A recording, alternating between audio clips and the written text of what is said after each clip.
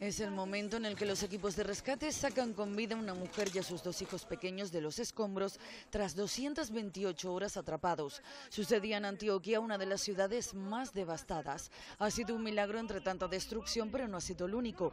Dos personas más fueron rescatadas con vida en las últimas horas. Se han convertido en un símbolo de esperanza. Es el caso de Hussein, que estuvo 187 horas atrapado bajo lo que era su casa. No olvida lo sucedido.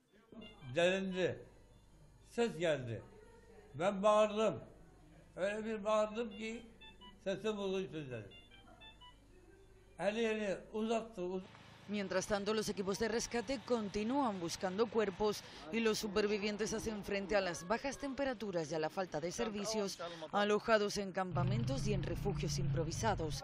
Ahora les toca una nueva lucha.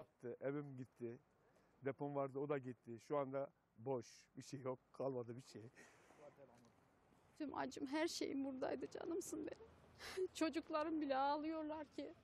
Unos 50.000 edificios en el sureste del país han sufrido daños graves por los dos terremotos, por lo que deben ser derribados de inmediato, ha anunciado el gobierno turco, que además ha asegurado que más de 7.000 expertos están investigando los daños en las 10 provincias afectadas y han examinado ya 387.000 edificios.